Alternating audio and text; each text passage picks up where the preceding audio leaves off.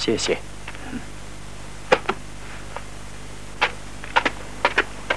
我反对宋卢慧能离开这里。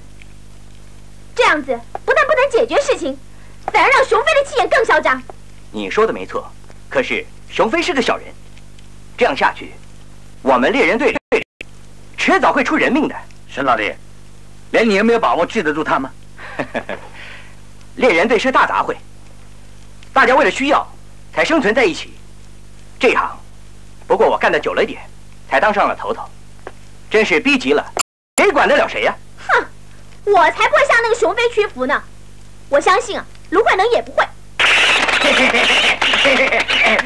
又又捉到一只了！哎哎，熊哥，你设的陷阱可是天下第一！什么天下第一啊？连个小小的卢慧能都赶不走，还算屁个天下第一啊？熊哥，你不要生闷气嘛。虽然现在有沈奎和翠翠给他撑腰啊，可是找的机会还是能把他赶走的。哎，对呀，翠翠还不是在你熊哥手里吗？哎，熊哥，我我我可是向着你的，你们两个少在这给我说风凉话，想把我赶他弄走。他要是一天不走的话，老子一天不痛快。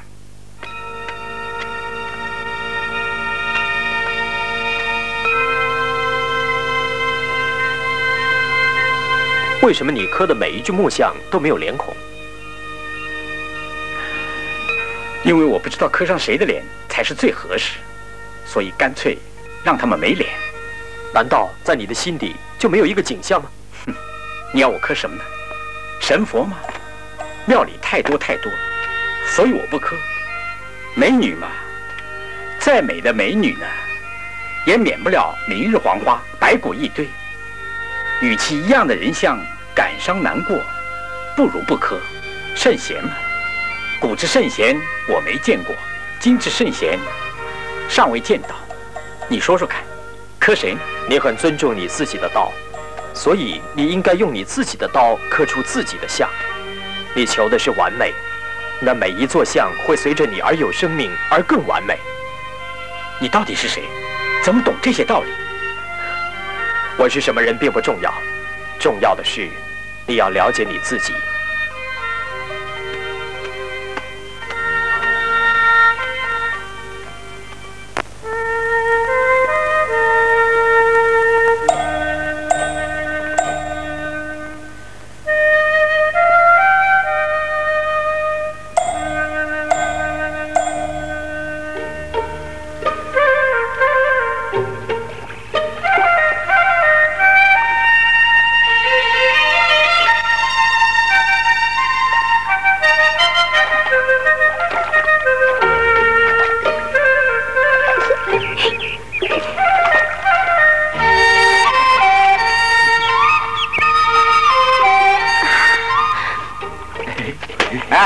不去捕猎跑这干什么？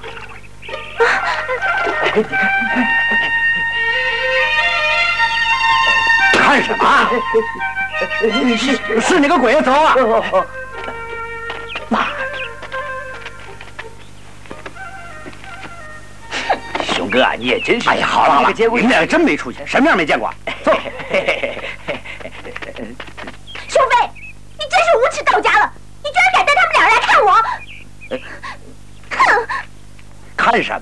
你说话客气点好吧？我是来叫他们回去的。哼，敢做不敢当，谁会相信你的鬼话呢？哎呀，爱信不信随便你了。我才懒得看你了。你无耻！哼，好啊，既然你说我看，老子就多看几眼，而且要看个清楚。你敢？老子没有什么不敢的。臭娘们！给脸不要脸！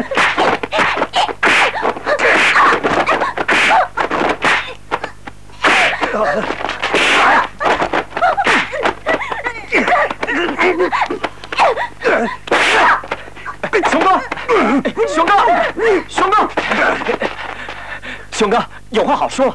老子是不要你管。熊哥，你可以消气了吧？翠翠姑娘，我送你回去。哼，我才不回去呢！算了吧！没有你这王八蛋，也没这么多是是非非。今天老子要好好教训你。熊哥，你让周姑娘走，我任凭你处置。哎，你你想让她去叫人来？你做梦！谁也不准走！周姑娘，你走，你快走！快跑，周姑娘！住手！我要打死你这王八蛋！兄哥，如果能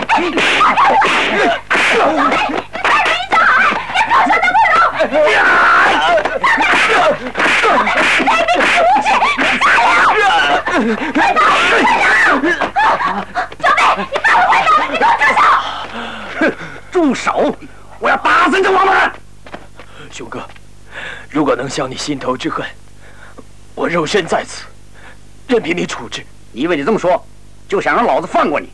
你做梦！慧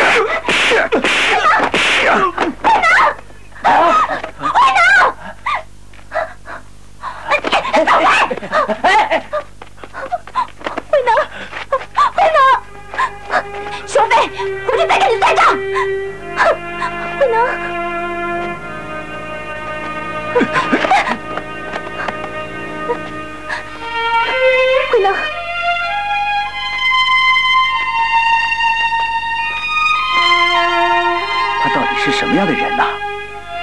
我没看过这样的人。住手！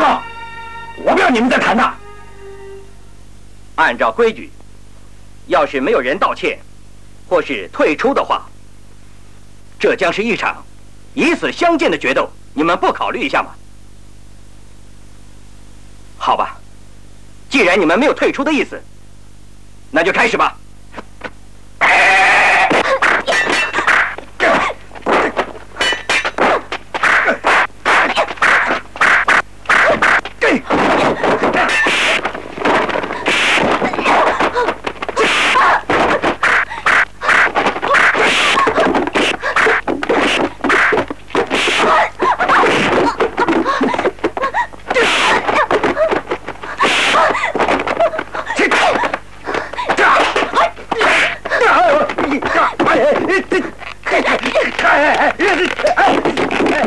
放开我！哎，放开我！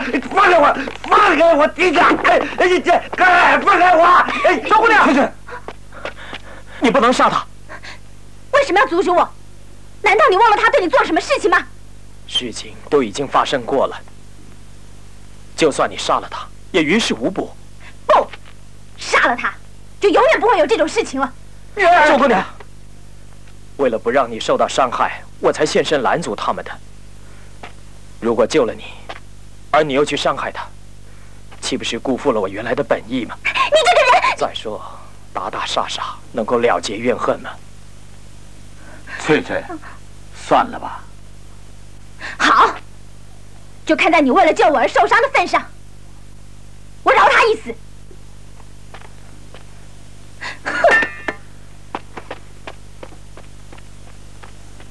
哎哎哎，快！熊哥，哎，熊哥，轻点，轻点，熊哥，哎，熊哥，你没事吧？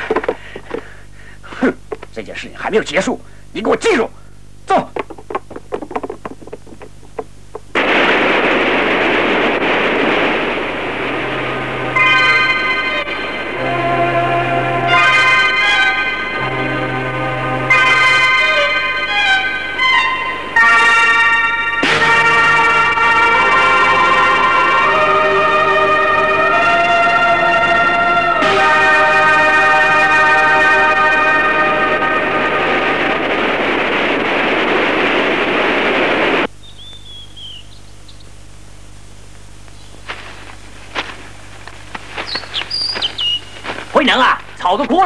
什么野菜？吃肉不行吗？找找看，也许有野菜。两位有什么事？慧能啊，熊飞想找你谈谈，谈谈和好的事。不管他谈什么事，我们去见他。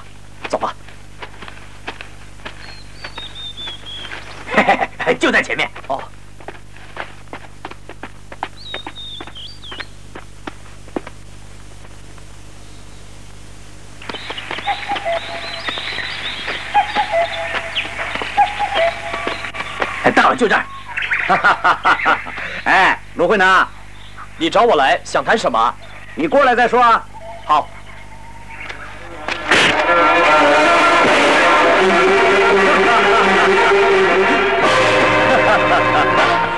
这就是你要跟我谈的事吗？不错，我不杀你，可是这片流沙会帮我除掉你。哎，你们还在看什么？还不快走！哦哦哦，走。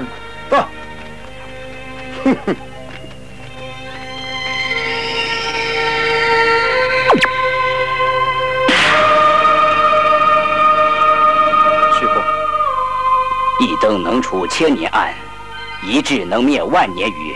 莫思向前，已过不可得；常思于后，念念圆明，自见本性。善恶虽殊，本性无二。去吧，谢师傅。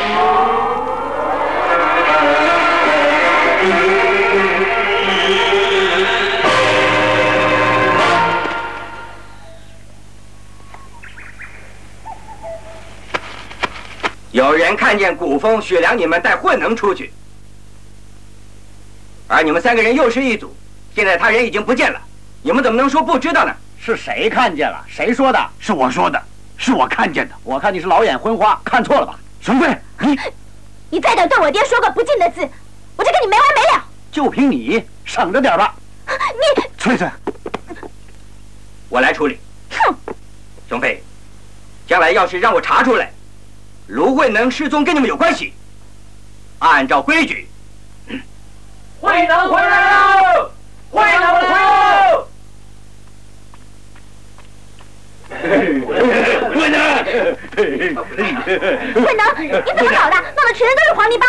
是我不小心掉入泥坑里去了。你怎么会掉到泥坑里去呢？我采野菜啊！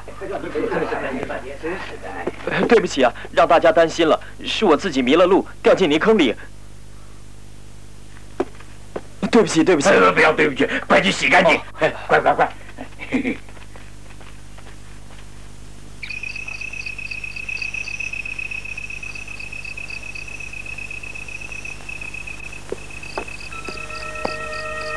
卢慧能，你一个人在这干什么？周姑娘这么晚了还没睡啊？我问你，你为什么要说谎？你去采野菜，流沙区哪来的野菜？为什么你不说是熊飞害你的呢？人生在世，应该避免烦恼，何必再自寻烦恼呢？卢慧能，你还算是男人吗？为什么你要那么怕熊飞呢？你误会了，我不是怕，不是怕是什么？明明就是他把你害到流沙里去的，你居然连指告他你都不敢！就算我指告了他，又能怎么样？我们之间的怨仇误会还是无法解开，只有从心里化解开误会，才是上策。什么？你想叫熊飞改邪归正，简直是做梦！他的心是黑的。不，熊飞的心并不坏，只是被世俗的利益所蒙蔽。只要能替他拂去这层尘雾，他会是好人，是个好朋友的。你别满嘴的大道理。要是你再不对抗熊飞的话，迟早有一天，他会坐在你的坟头上唱山歌的。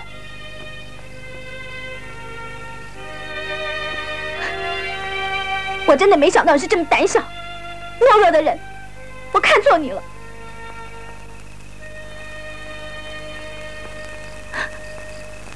运气不错。哎，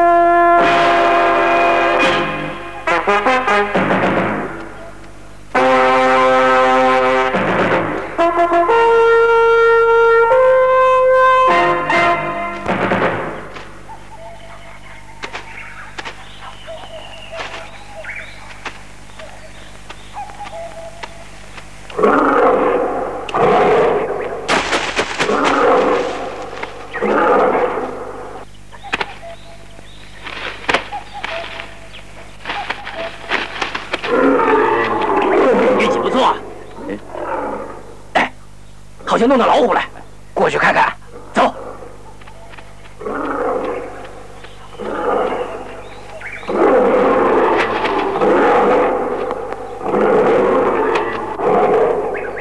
不要怕，我来放你。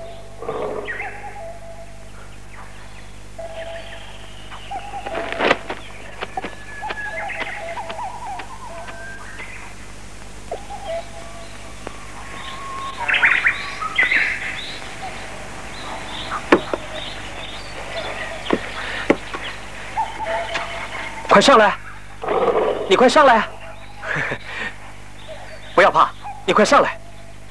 快上来呀！快上来！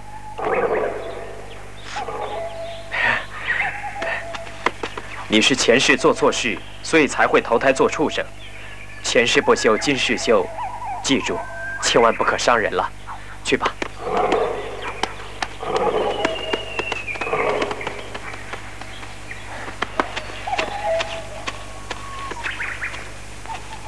好不容易弄一只老虎，鬼那怎么把它给放了呢？走，快回去告诉沈头头去。你承认他们两个说的都是真的？嗯。那你知道，放生猎物是我们的大忌。听老高说过。既然知道，只好照规矩出行了。龙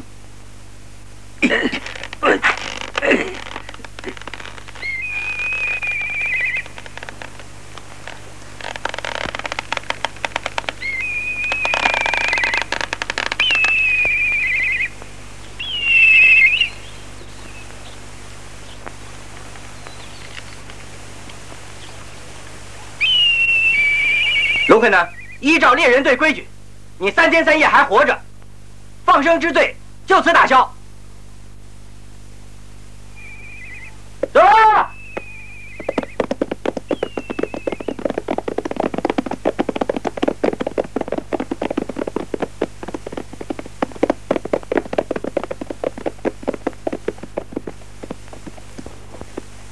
你真是笨蛋！现在谁也救不了你了。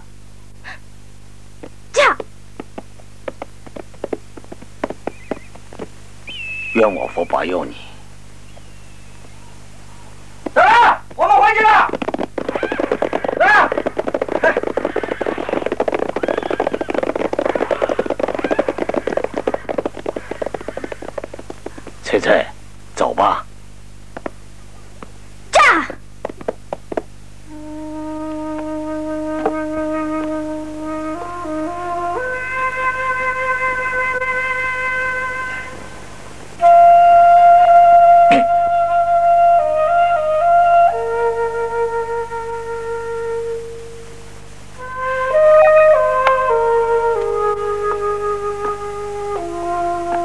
头头，来干一杯。哎，哎，那只鸡到底烤好了没有？差不多了，快我看看。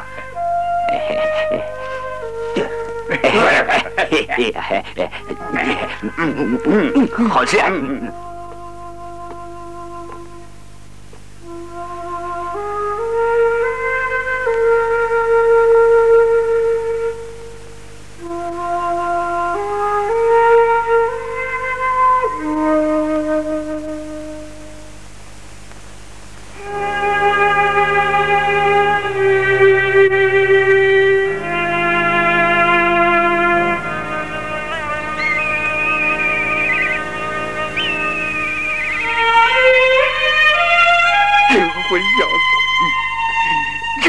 听话，嗯，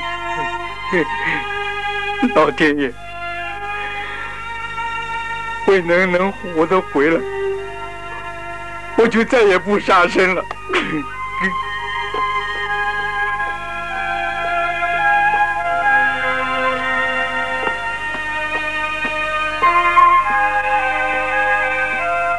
翠翠。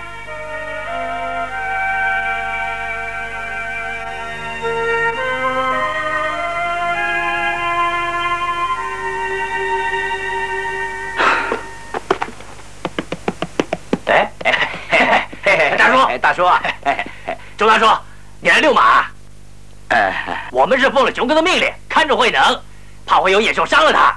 哦，好走啊，大叔！大叔慢走啊！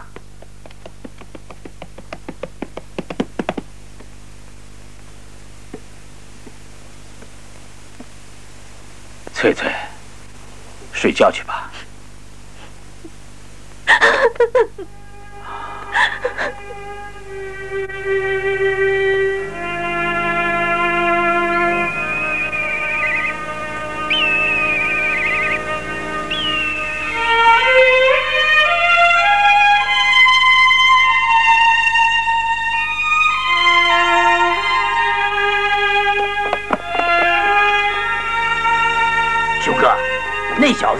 了三天两夜了，我看他恐怕熬不过今天晚上了。嗯，我就不相信他的命有多大。哎，你们都辛苦了，来喝杯热茶。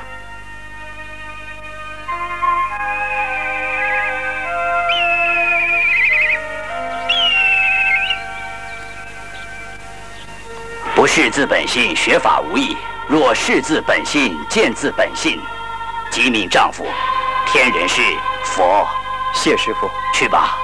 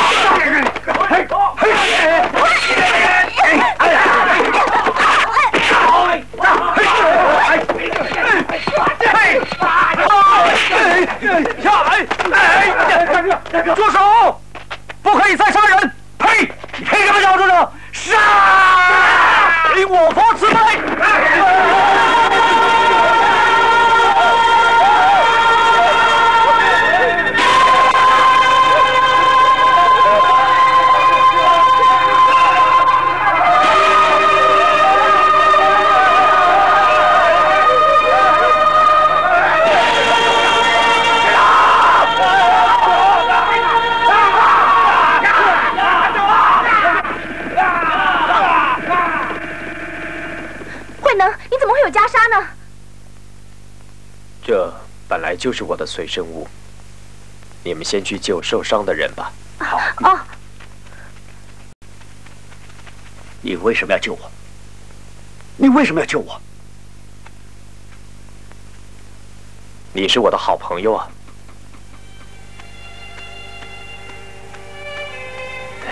你有没有关系？还好，他走了。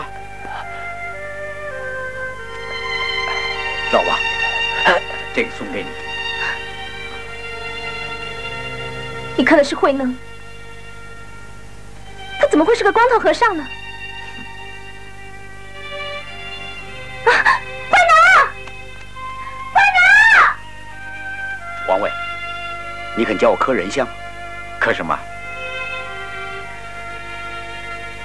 我只想刻一个人。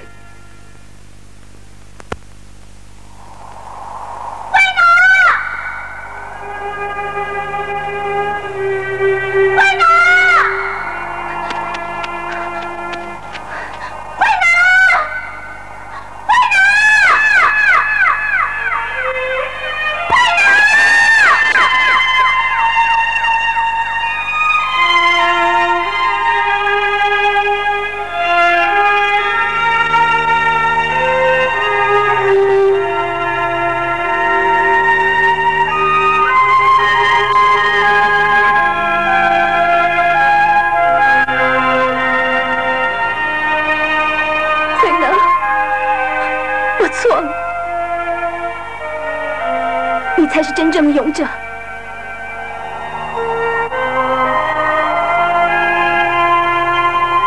现在，该是我先出家乡，弘法度众的时候了。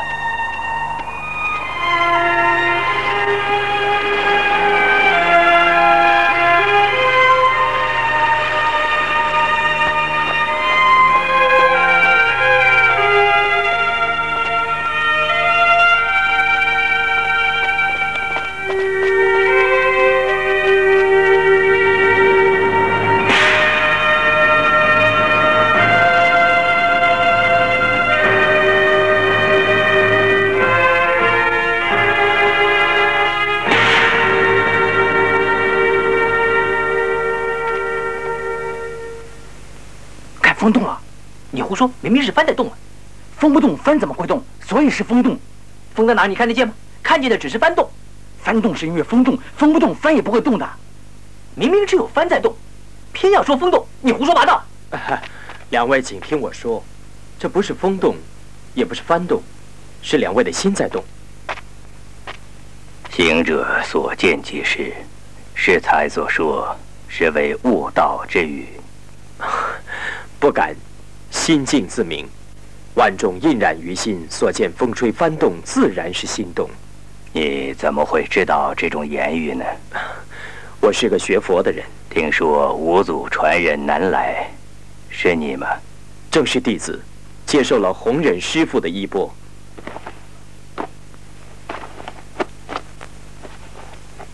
请过目。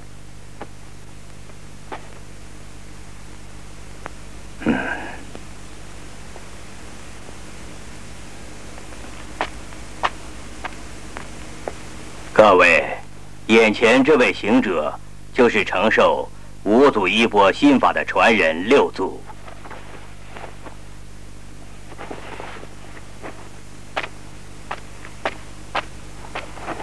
行者已接受衣钵，就应现出家乡，以便弘扬佛法，普度众生。我就是为此而来。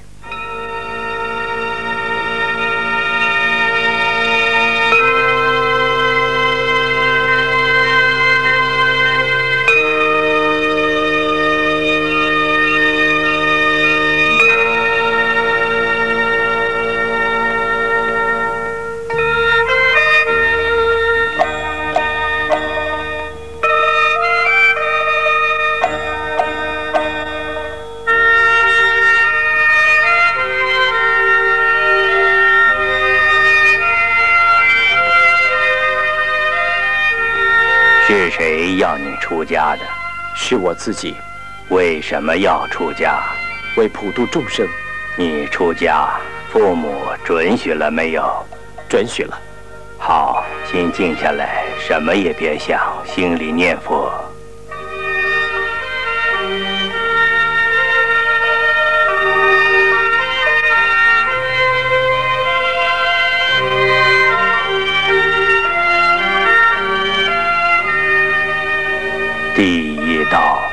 断除一切烦恼；第二道是修一切善法；第三道，愿度一切众生。出家之德，上报四重恩，下济三途苦。念佛如是，礼佛常请，而今专请。拜辞国王父母养育之恩，后不败也。今到替下娘生法，除却尘劳不净身，圆顶方袍僧相见，法王坐下佑天孙，礼佛三拜。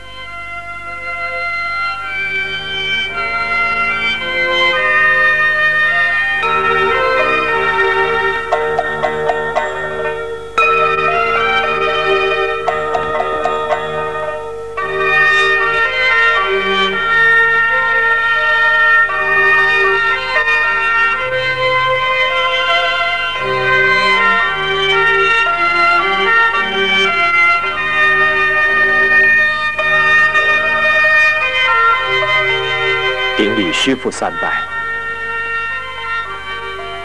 一拜。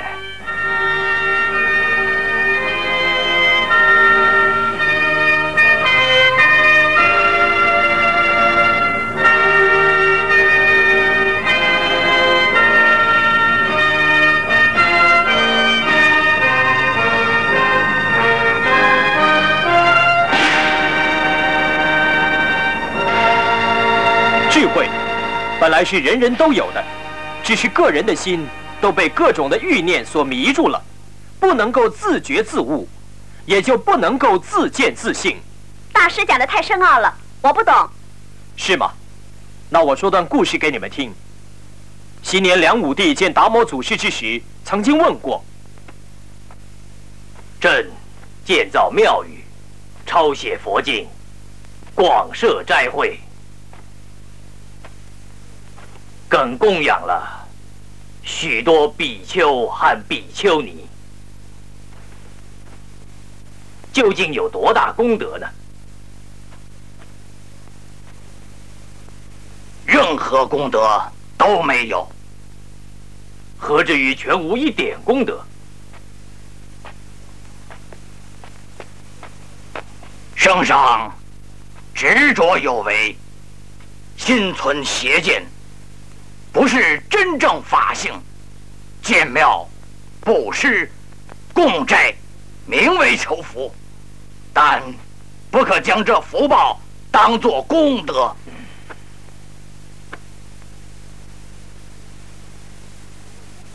什么才是真功德呢？所谓功德，是要自己尽其智虑，空其实体，不着功德之想，然后才可以得功德。人由于贪、嗔、痴、慢等的作祟，淹没了般若大智。在付出的时候，常盘算着要有多少回报。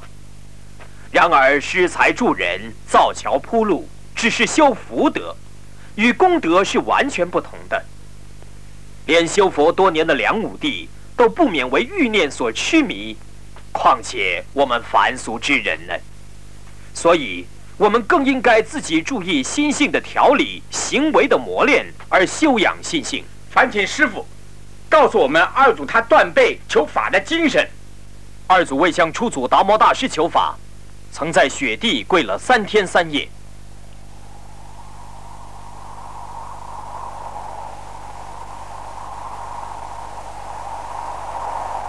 佛法的奥妙，岂是你这一点点心意就能求得到吗？弟子志在求法，生死早已置之度外，请求师傅开示弟子。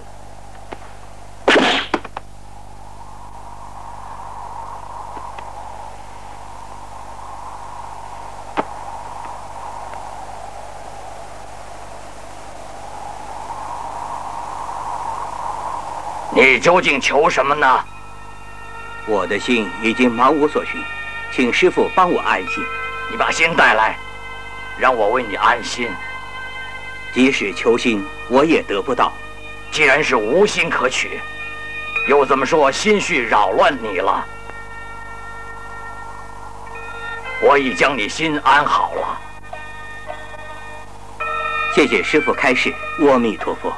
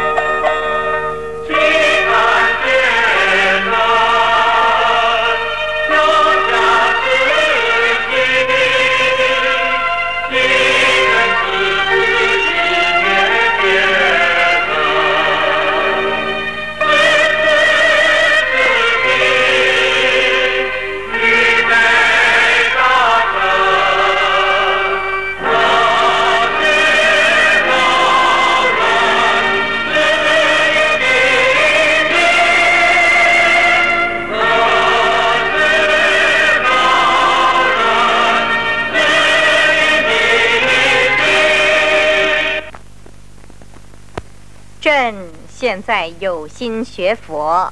张说：“臣在。你看哪位法师可以为朕说法呀？”回禀太后，眼前佛法大师首推惠安与神秀。张侍郎，臣在。照你这么说，应该请两位和尚入宫来供养喽。神秀法师跟惠安法师名震天下，如果能请入宫中供养的话，不但可以证明我大周天下崇尚佛法，得到百姓的支持，而且能使朝中百官就近请意，从两位高僧那里得到启示。就照你说的去做吧。臣遵旨。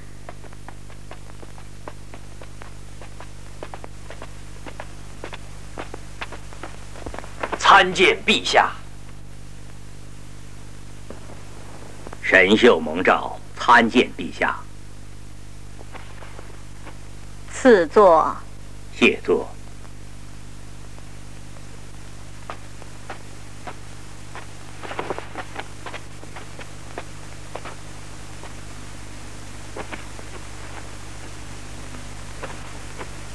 谢陛下知遇之恩，但是贫僧德行不够，恐怕会让陛下失望。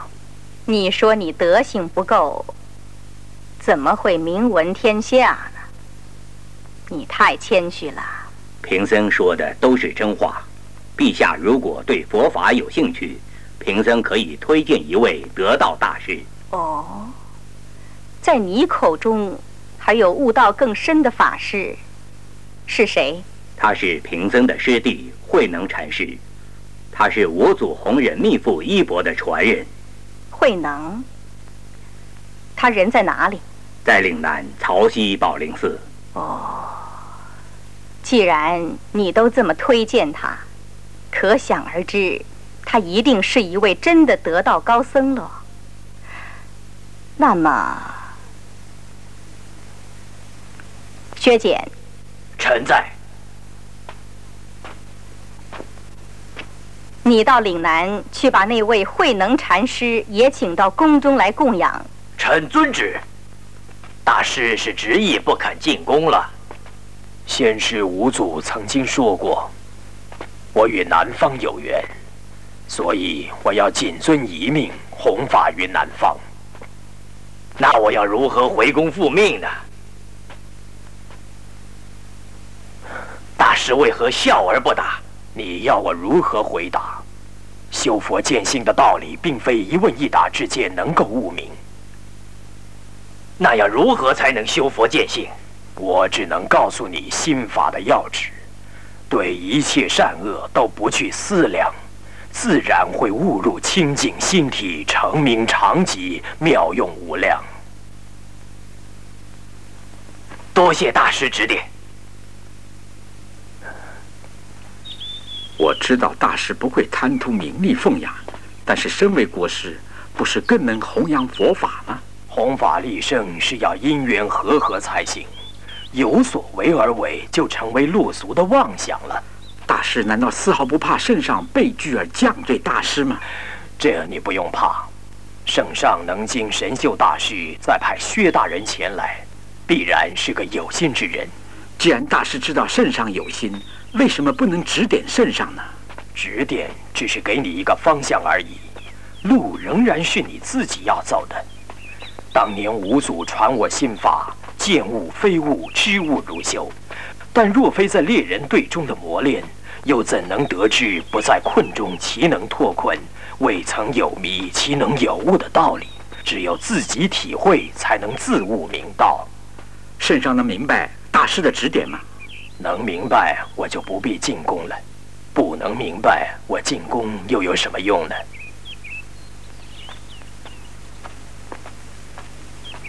他体弱多病，自知在世时日无多，谢辞皇恩，请愿在山岭终其生，盼陛下赐准。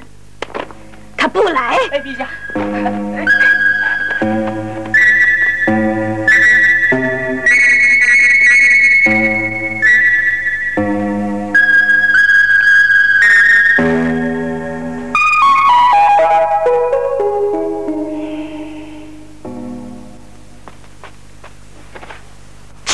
陛下，慧能胆敢狂妄自大，有辱天威，请即刻降旨，弃拿治罪。很好。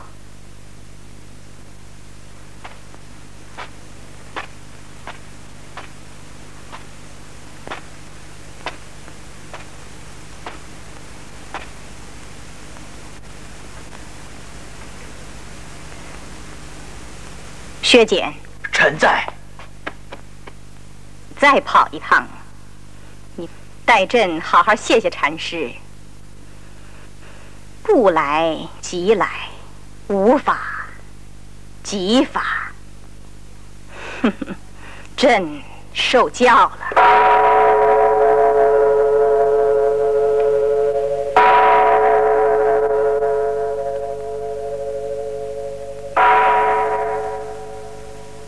今天召集各位来，我是要跟大家道别的，我就要离开人世间了。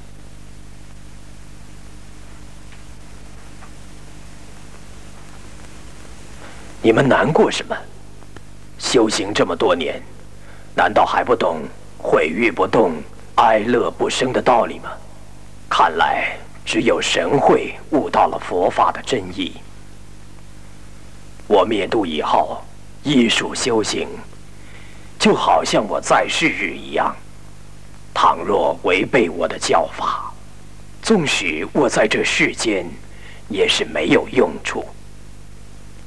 五祖曾经说过：“衣钵不再传了。”那么，师傅，您的心法呢？心法我都说过了，只要照着经文行事，处处都是心法。弟子愚昧，请师傅指点迷津。你们只要记住，如果能了悟自己的心性，众生就是佛；自己的心性如果迷失，佛就是众生。